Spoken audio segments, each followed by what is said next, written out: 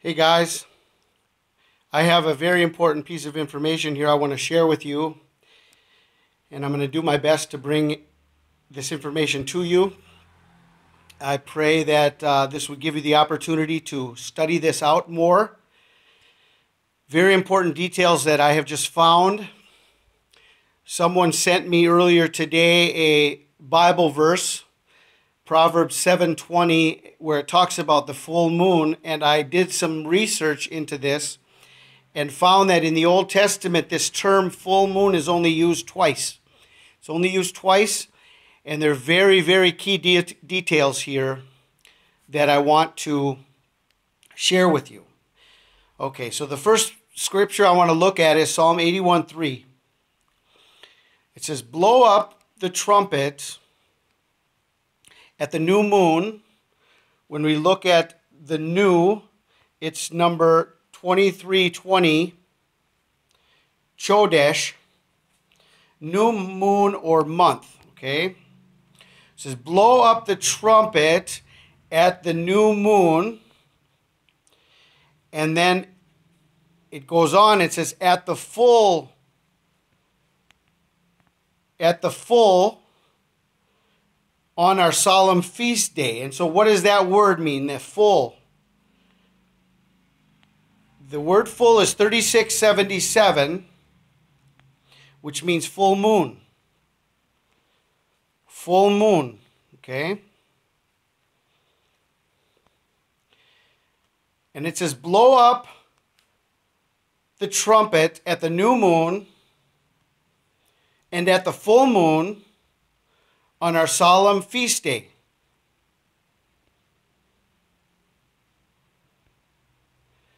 This is what feast day, solemn feast day 2282 from the Hebrew, the Chag is a festival gathering, feast, pilgrim, a gather a festival gathering, a feast, or a pilgrim feast. So a solemn feast day is a pilgrim feast. Okay, we, we know that there are only three pilgrim feasts in Israel. Three pilgrim feasts where you need to travel to Israel to be in Israel. It's a uh, Feast of Passover, the Feast of Pentecost, and the Feast of Tabernacles. Okay? Trumpets does not apply because it's not a pilgrim feast. We're looking at the original meaning here in the Hebrew. So, trumpets is not a pilgrim feast. This is a very important detail that we're finding here. So, this would only apply, blow the trumpet, it says, on our solemn feast day at the new moon and at the full moon. Okay? Now, now we have three pilgrim feasts. One is Passover, one is Pentecost, and one is Tabernacle. Okay, and so we're looking at the trumpet, we're looking at the Jubilee, we're looking at when the trumpet is going to blow this year. And we have the feast of we have the feast of tabernacles, but that's past, okay, that's past the September 23rd sign.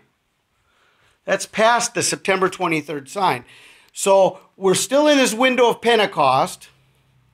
We see that when we came to the 70th week of, of, uh, uh of, of the 70th Pentecost from the rebirth of Israel, it talks about a covenant with many for one week. So we're still in this window within one week of Pentecost. I would say that this is a window we need to be considering here.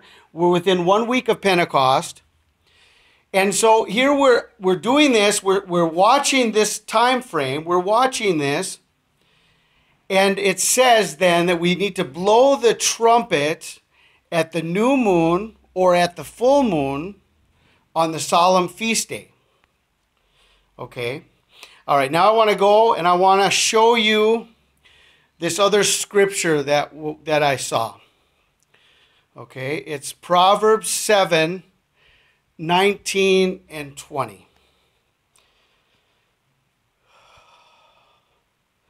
This is an amazing connection here, guys. The only two times in the entire Bible where this term is used full moon. Very important connection here. Okay. And you can study these out in the English, uh, the, in, the, in the King James, uh, if you would like. And what I'm doing is I'm, I'm taking you to the interlinear Bible, and we can see uh, what it says then in the interlinear Bible, and this connects the English to the Hebrew. Okay? It says, For not the manager is at home, he is gone on a long journey. Okay? The manager is not at home. He is gone on a long journey. Okay? It says he has taken a bag of money with him and he will come at the appointed day. He has taken a bag of money with him, and he will come at the appointed day. Now look at the word appointed. Okay, look at the word appointed. What is the appointed day? The appointed day is number 3677. This is the original text from the Hebrew. He has taken a bag of money with him. The manager is not at home. He has gone on a long journey. He has taken a bag of money with him, and he will come home at the appointed day. The word appointed is 3677. Kese o kese. Full moon. Full moon. Look at this, guys. Look at this. This is an amazing connection. The solemn feast day, the full moon, and then it talks about the manager who has gone away on a long journey He has taken a bag of money with him, and he will come home at the appointed day on the day of the full moon, the solemn feast day with the full moon, where the trumpet will be blown. Blow up the trumpet at the new moon, at the full moon, on our appointed feast day, on our solemn feast day.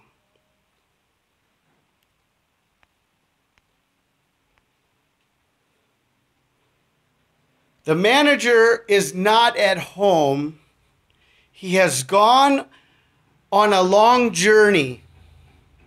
He has taken a bag of money with him he will come home at the appointed day. Is June 9th, 2017, the full moon, one week after the 70th Pentecost? Is this the appointed day?